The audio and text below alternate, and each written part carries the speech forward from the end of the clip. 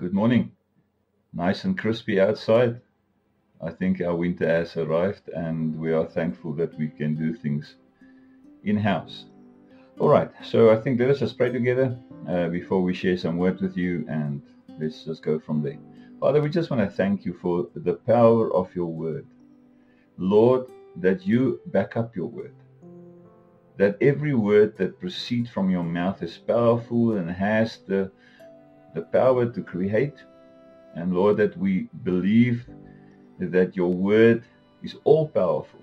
It is my prayer, Lord, in this time that the Spirit will quicken the word that is inside of us.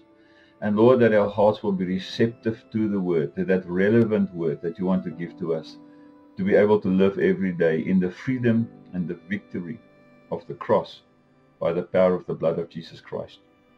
I want to bless all the people that listen to us, all the people that watch us. Lord, I speak a blessing over their lives this morning. I thank you, Father, that you are a God that visits us individually and that your Spirit dwells in your children. And Lord, that the Holy Spirit and the promise of the Spirit is that, it, that He will quicken the word in us and that He will teach us all things, and we trust you in that. But we just want to say thank you that we're not in, in this life battle and in this life alone, that you are with us. We give you all the honor and we give you all the praise in Jesus' mighty precious name. Amen. All right.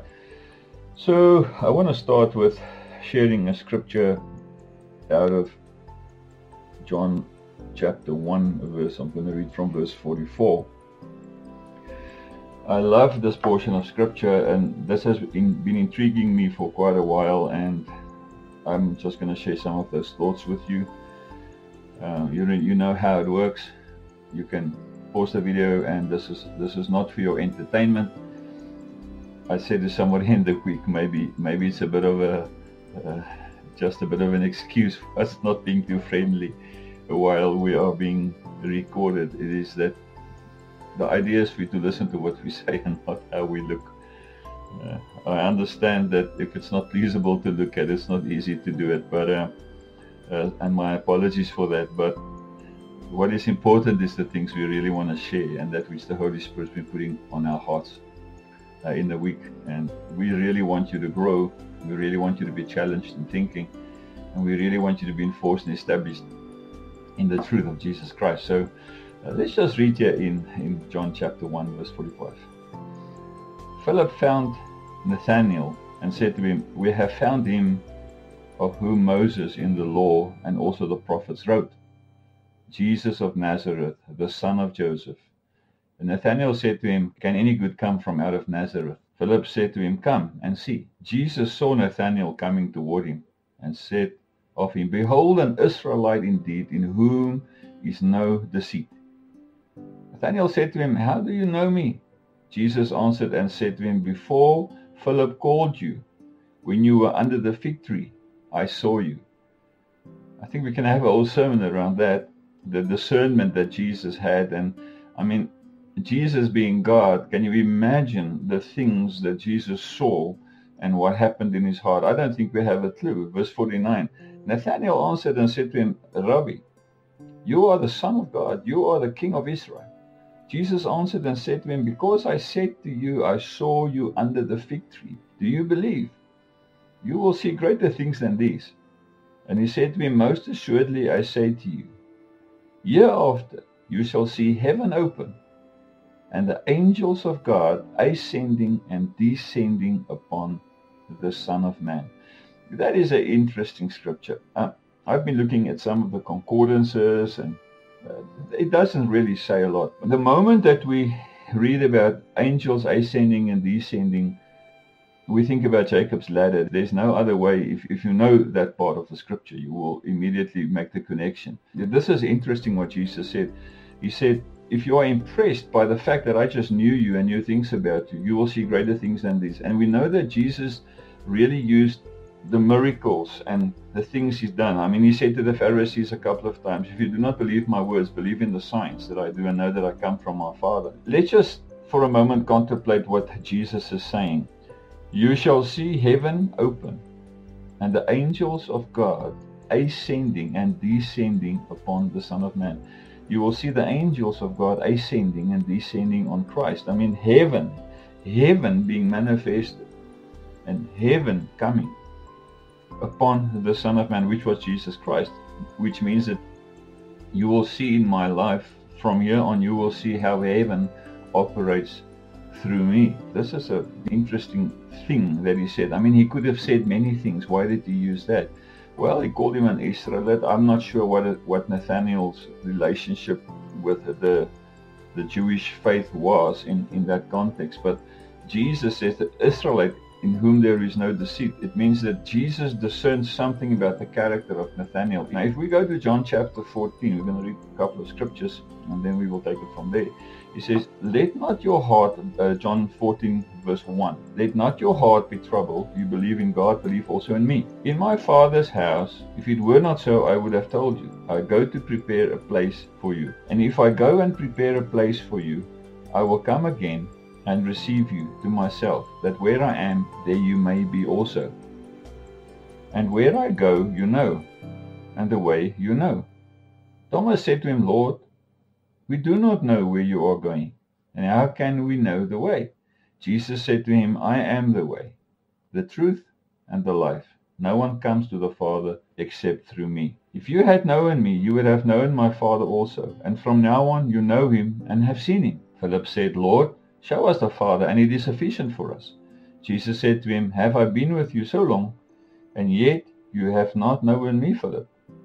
He who has seen me has seen the Father. And how can you say, Show us the Father? Do you not believe that I am in the Father and the Father in me? The words that I speak to you, I do not speak on my own authority, but the Father who dwells in me does the works.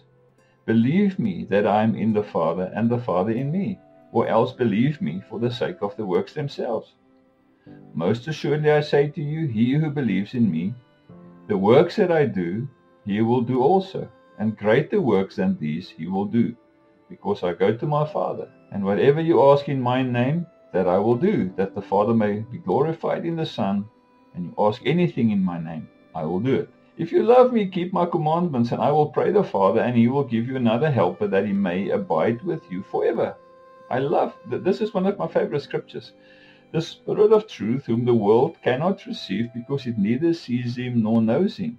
But you know him, for he dwells with you and will be in you. I will not leave you orphans, I will come to you.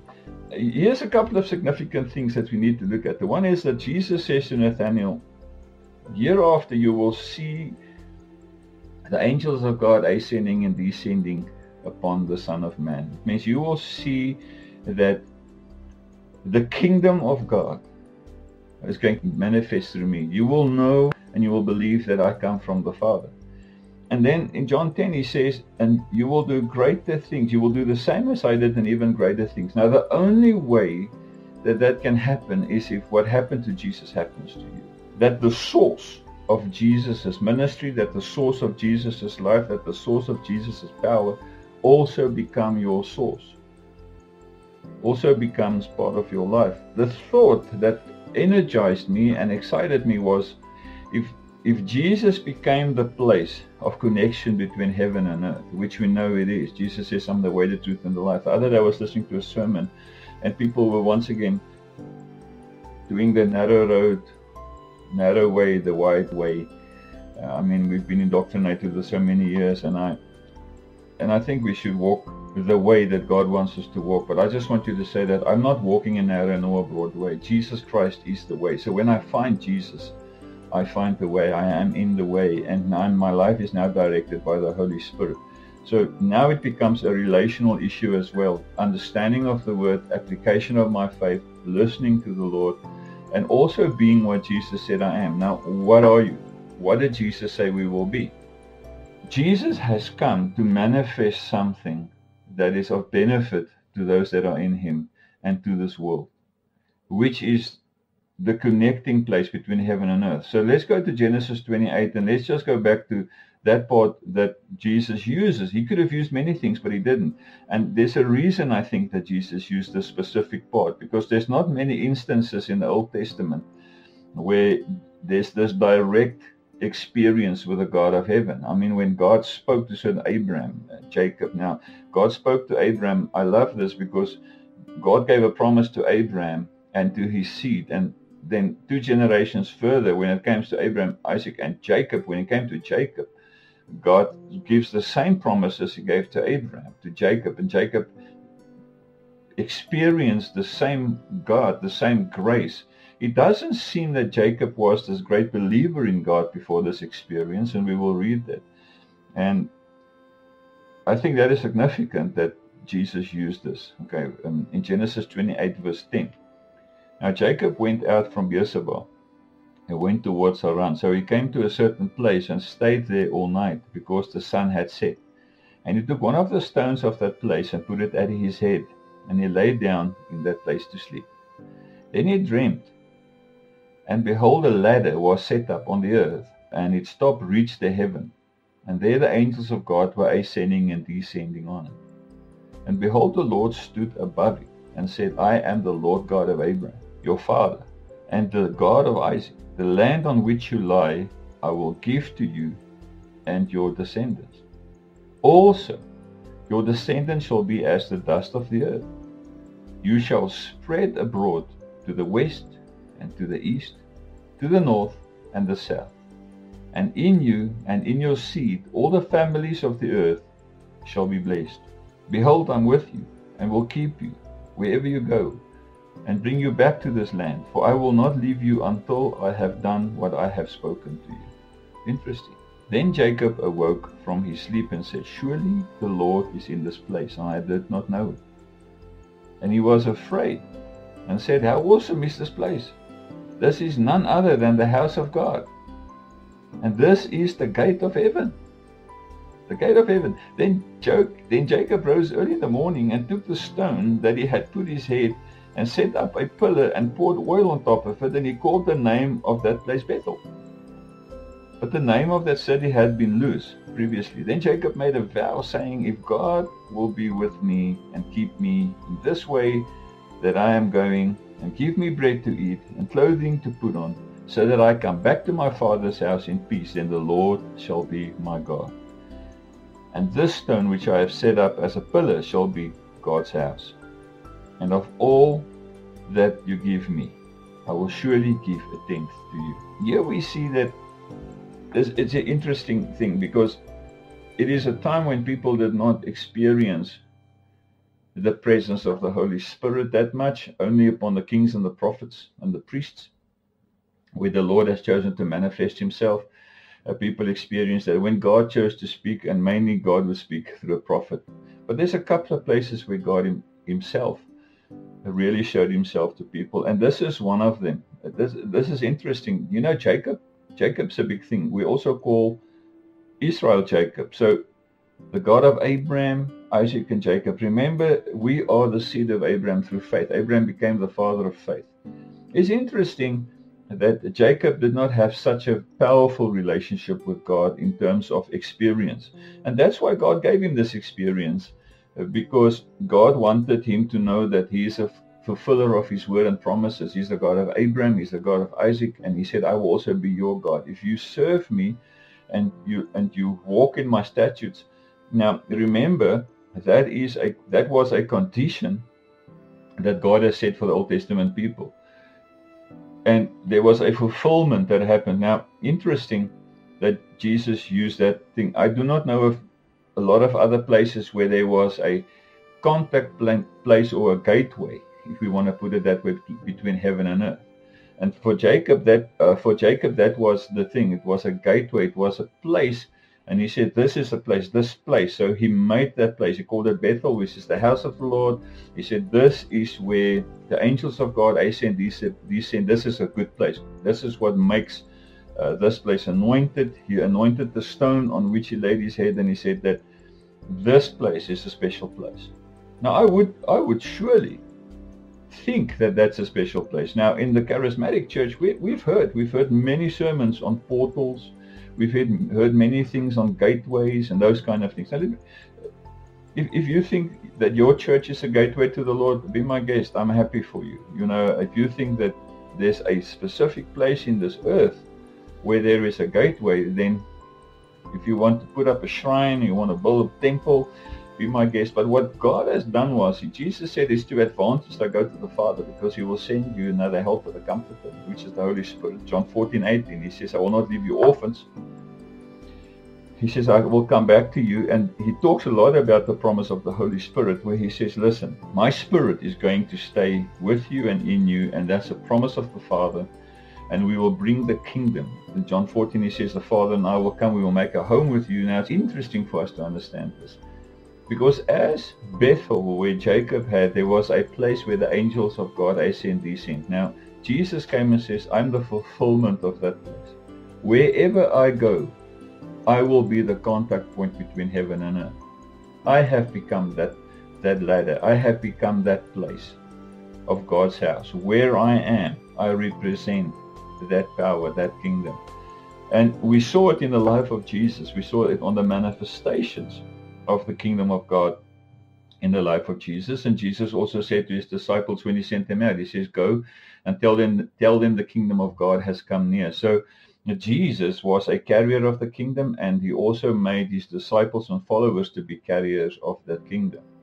Now, let me let me tell you what excited me about this whole thing is I've realized that if Jesus is the place, if Jesus is the one where the angels of God ascend and descend upon the Son of Man, and that Jesus is that contact place between heaven and earth, and that Jesus is alive, and that Jesus has given himself to the church and has committed himself to the church, it means that because we are in Christ and because Jesus is the door of the sheep and because in him we live and move and have our being, the reality is, is that we become that contact place between heaven and earth. It means that wherever we go, wherever you and I go, there is a gateway between heaven and earth. And that the angels of God ascend and descend upon your life because in him you live and move and have your being. Now, your revelation of who Jesus is and who you are in Christ will play a big role in your understanding of what I what I'm trying to share with you now is that if you believe that you are in Christ and that the life that you live is in Christ and that Jesus is the way, the truth, and the life, and that Jesus has committed himself to you in covenant and that he will never leave you nor forsake you. It means that you are assured of the Godhead. Jesus says that he and the Father is one. You are baptized into Christ. You have Christ. You have put on Christ. it means that you have become an ambassador for the kingdom of God. It means that you have become a representative of the kingdom of God on this earth. He has given you the Spirit, the same Spirit that raised Jesus from the dead dwells in you. It means that's a full package. There's nothing. Paul comes, he says, All things are yours. He, can, he says, I can do all things through Christ Jesus who strengthens me. It means that when we find ourselves in Christ, then we become the recipients of that which Christ is and that which Christ does. Jesus says he does not speak on his own authority, but then he comes and he says, Whatever you ask the Father in my name, that I will do for you. Doesn't say the Father will do. Another other places says the Father himself loves you and I will no longer ask for you, but you can ask him yourself. So here Jesus exhibits to us the benefit of being sons and daughters of God. He says, In my sonship, you become sons and daughters. It means in my relationship to the Father, you also get a relationship and be in a relationship to the Father yourself. But we cannot forget that we are in Christ. The word says, In him dwells the fullness of the Godhead bodily. So it doesn't mean I, I move past Jesus and now am in a relationship with the Father. You and I are presented to the Father in Christ the life I live, I live in Him. It means I have put on Christ. I've been baptized into Christ. I'm not talking about the water baptism. I'm talking about being that you have put on Christ, that you are a new creation. And there's some of the previous sermons that I've that I've shared that I don't want to repreach that right now. But what I want to say is this. I realize that if Jesus has become the place where angels ascend and descend, then you and I have also become a place where angels and descend upon our lives because we have become carriers of the kingdom of God. This is now problematic. Paul talks about, he says, the Jews are looking for a sign, the Greeks are looking for knowledge. And I think that the church really find themselves in these different identities. We find ourselves in a lot of identities except in Christ. And that is our biggest challenge. We need to begin to understand that what transpired in this transformation that took place in my life as a believer What did I really become? Am I in Christ or am I not in Christ? And I've said it also in the past. Am I now in or am I out? And there's some people that suggest, no, no, no, you're in, but your behavior takes you out. And then I say, but then, then being in is a reward of something, and it's not grace. And that's problematic to me, you know. And uh, that is a wet fish moment. It's when you, people must decide are we now in Christ or not because the Lord says He's faithful even when we become faithless. It means we are sustained not purely by our faith, but we are sustained by our faith which positions us in grace. That the Lord is indeed good and that the blood of Jesus is indeed enough to wash me and cleanse me, and that I have been forgiven, and that I am presented to the Father pure and holy in Christ Jesus, because I am in Him, and that is the eternal abode. If we abide in him, he will abide in us. I'm staying, I'm living in Christ. The life I now live, I do not live for myself, but for him who died for me and rose again. I mean, that's what the scripture says. Do you understand what I'm saying when I'm saying that your understanding and your level of revelation concerning something is really something that empowers you to position into a place of victory and that there's an application value to that? If we go to John chapter 10, verse 1, and, and this is a well known scripture, it says, Most assuredly I say to you, he who does not enter the sheepfold by the door, but climbs up some other way, the same is a thief and a robber. But he who enters by the door is the shepherd of the sheep. To him the doorkeeper opens, and the sheep hear his voice, and he calls his own his own sheep by name and leads them out. And when he brings out his own sheep, he goes before them, and the sheep follow him, for they know his voice. It's interesting that portion verse 4 because Jesus says to his disciples, He says, I will go, in my Father's house there's many mansions, I will go before you. Uh, and uh, that Jesus says, where, where I will go, you will go. And you know that the words is Ephesians that we are seated in heavenly places with Christ Jesus. So it means that the revelation of in Christ might be bigger than what you think. The revelation of in Christ might be much more revolutionary than what than we want to give it credit for.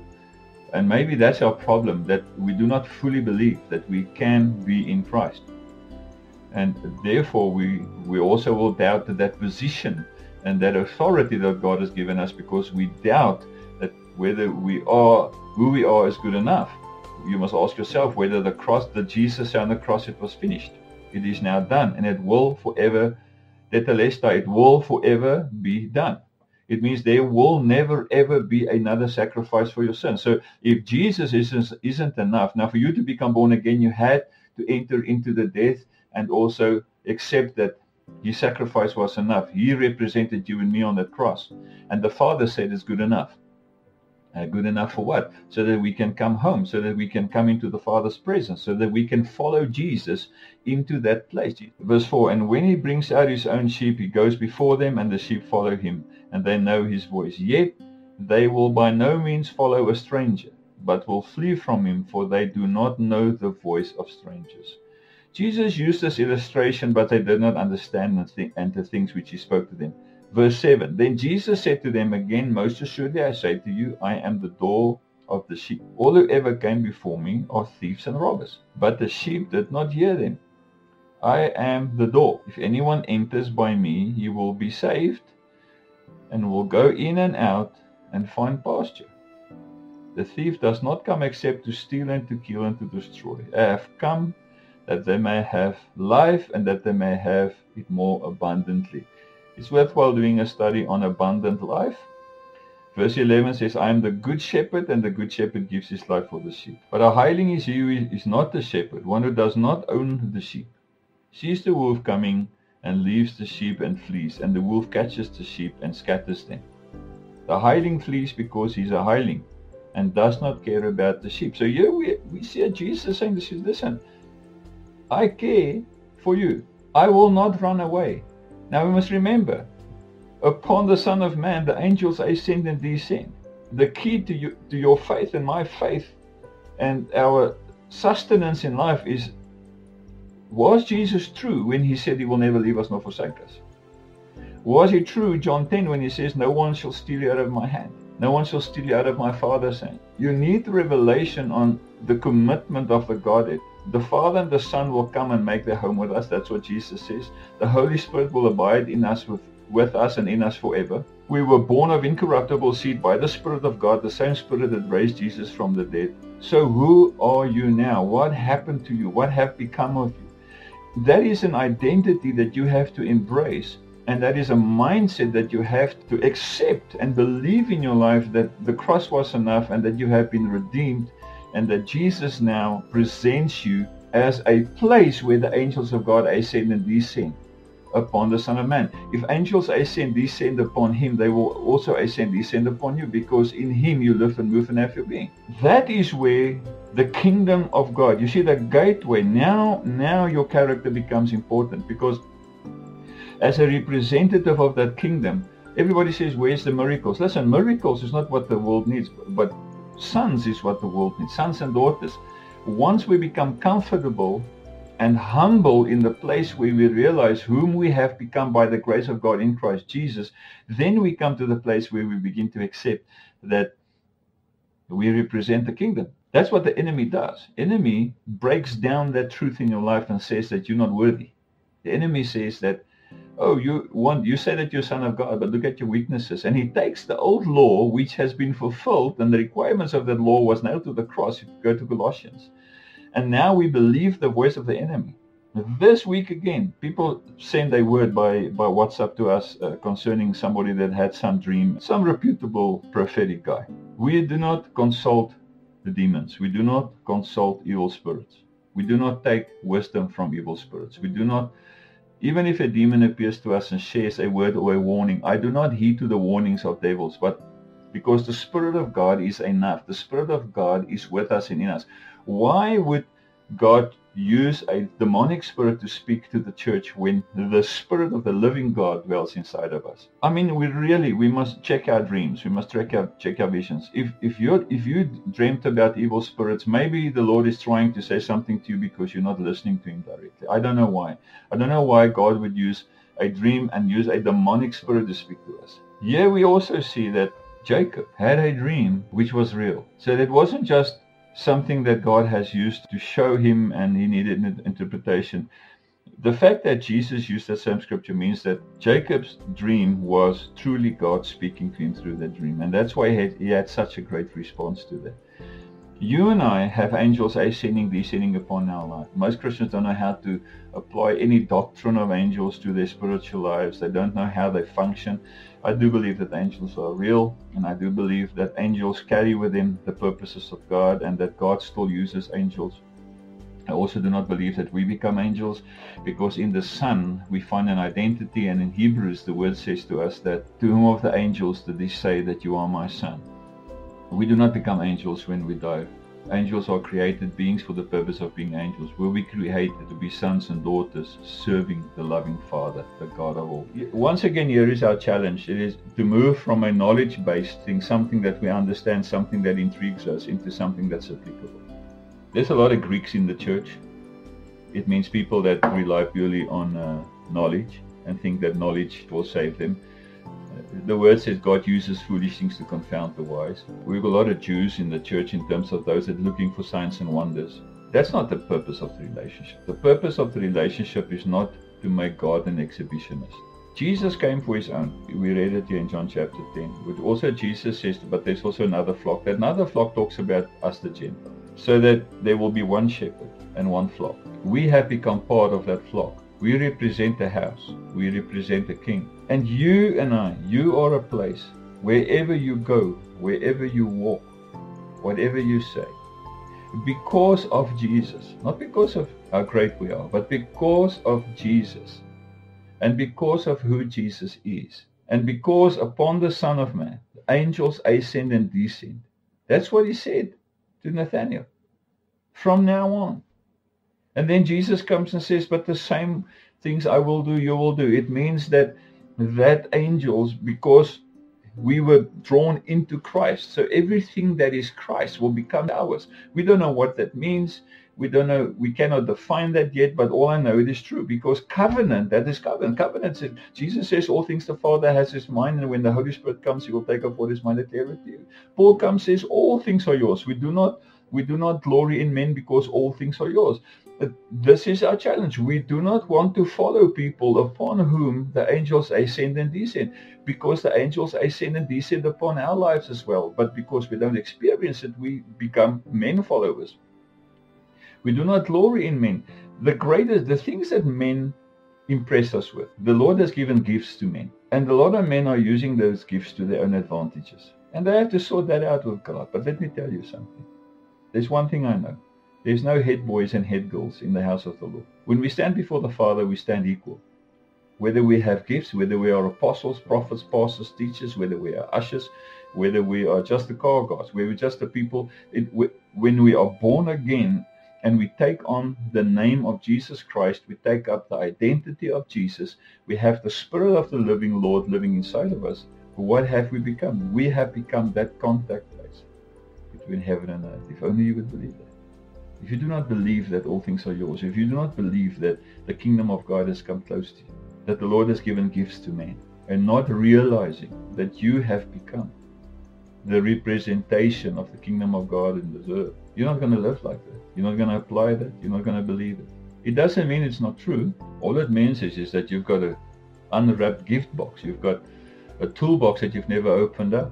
It means that you could have been much more victorious in your life, but you just never applied the truth. You could have been much more of use to the kingdom of God, to the glory of Jesus, but you're still trying to sort out your orphan behaviors. And that's John 14, 18 says, Jesus says, I will not leave you orphans, I will come back to you. That word means to be fatherless, or it means to be uncomforted. There's so many uncomforted people. And that's why people battle with unforgiveness. That's why people are still busy with earthly things and that cannot be heavenly focused because they're trying to fight an enemy that has already been defeated and they do not see the lies because they do not listen to the voice of truth inside of them. The word of truth that has come to us, that's quickened by the Holy Spirit, why do you think we need discernment? What is the purpose of the prophetic? What is the purpose of the revelatory gifts of God? It is to give insight to the church to be able to be representatives of the kingdom, which we're not. And I mean, that is a shame. I mean, that is an insult in a way to the cross because Jesus died for what? Jesus defeated the devil for what? Jesus overcame for what? Jesus said it is finished for what? If we, if you and I do not step into that thing, say, okay, Holy Spirit, I concede. Lord, I lay down my life. I really need to hear your voice. The, the, the word here says, your sheep hear your voice. Jesus says, I am the door. He's the doorway to heaven. Let's quickly go there. In Genesis 28, verse 17, Jacob, and he was afraid and said, How awesome is this place! This is none other than the house of God, and this is the gate of heaven. then Jesus comes, comes and says, I am the door. I am the way, the truth, and the life. The way to the Father is through me. Jesus came and said, in covenant, God made a promise to Abraham. And Jesus comes and says, I am the fulfillment of that promise. I am the door.